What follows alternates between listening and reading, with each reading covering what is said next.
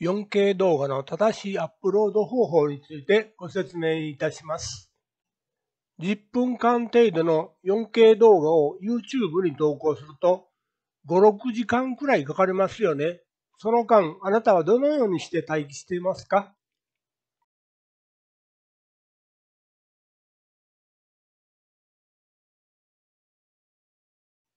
私は電源を入れたままにして外出したり就寝していました。ところがある日、投稿が完了していないのに誤って電源を切ってしまったのです。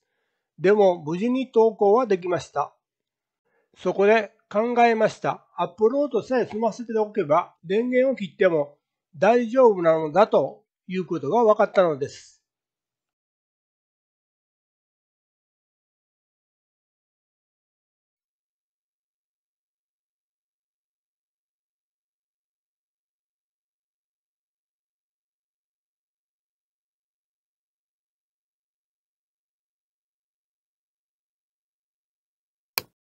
アップロードが完了後はいつ電源を切っても YouTube に投稿ができるということに気がついたのです。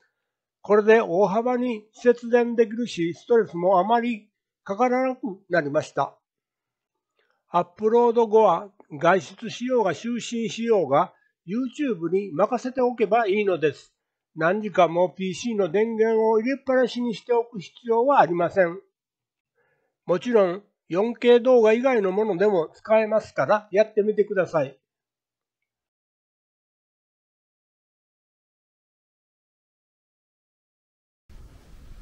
ご視聴ありがとうございました。チャンネル登録、高評価よろしくお願いいたします。